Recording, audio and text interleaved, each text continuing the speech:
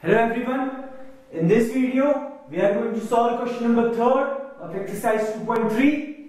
And in question number third, we have to obtain all other zeros of this particular polynomial if two of its zeros are given as root 5 by 3 and minus root 5 by 3.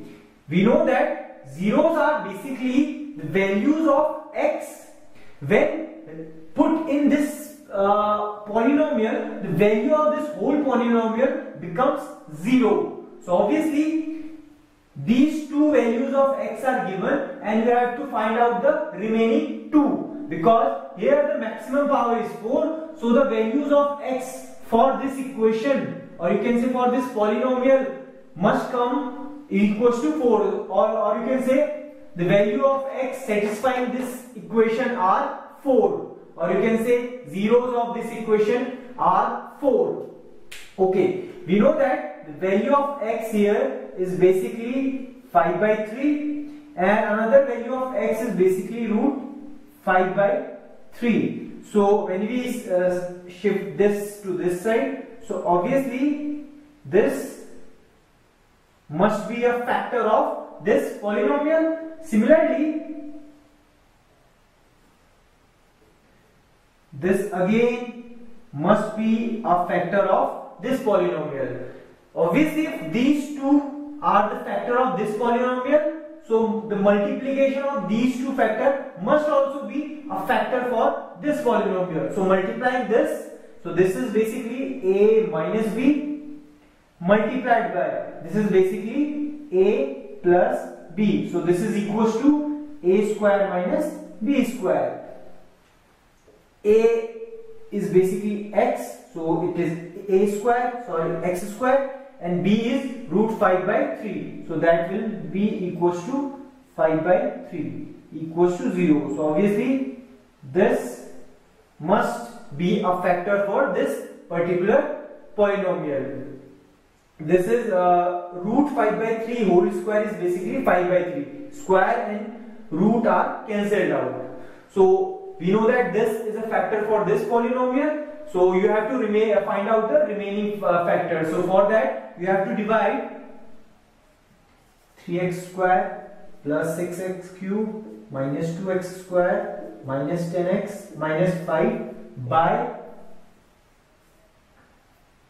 x square minus 5 by 3.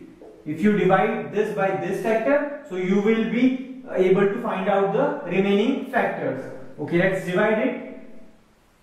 This is another part. Okay, you have to make it 3x square. So you have to multiply something with x square to make it 3x. Uh, this is actually raised to power 4. So you have to make it 3x raised to power 4. So obviously you have to multiply x square with 3 and with x square because 3 multiplied by 1 is 3 and x square is multiplied by x square is x raised to power 4. After that you have to multiply this with this. So 3x square multiplied by minus 5 by 3 is actually okay you have to multiply 3x square by minus 5 by 3. So obviously this 3 and this 3 can be cancelled out. So minus 5 by minus 5 x square will come out. So that could, can be written before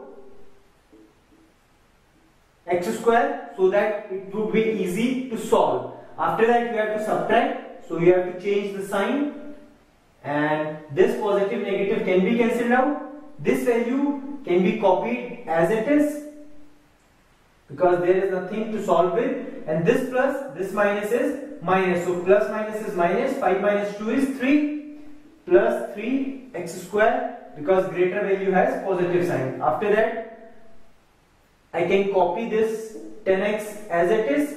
Now you have to make it 3 6x cube. You have to multiply something with x square to make it 6x cube. So obviously you have to multiply it with positive 6.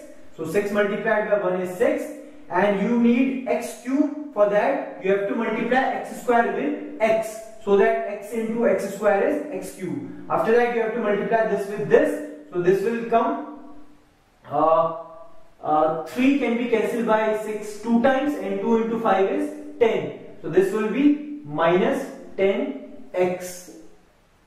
Again you have to subtract, you have to change the sign and this can be cancelled out. So this can be copied as it is and this positive negative can be cancelled out. So minus 5 is remain here. So minus 5 is copied as it is. After that you have to make it 3x square. For that you have to multiply x square with 3 because 3 multiplied by x square is 3x square. After that you have to multiply this with this also. So 3 cancelled by 3 so that will become minus 5. After that again you have to subtract and for subtracting change the sign and this positive negative this positive negative can be cancelled out. So obviously the remainder is 0. So this is the factor for this polynomial and the remaining factor is this much. After that what you have to do is again factorize this means you have to split the middle term. For that we are taking 3 as common so this will be x square plus 2x plus 1. This is one factor x square minus 5 by 3 is another factor. So obviously this can be again factorized. This is basically a square. This is basically b square and this is 2 into a into b. So obviously this is a plus b whole square. And x square minus 5 by 3 is another factor.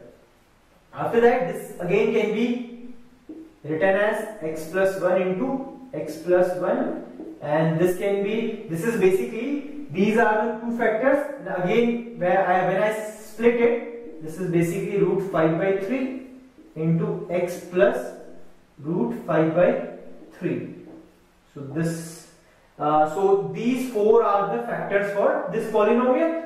And if this is a factor, so this plus 1 must be equal to 0. So the value of x must be minus 1.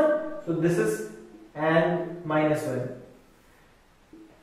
So these two are the other two factors or you can say other two zeros for this polynomial and these two are already given in the question.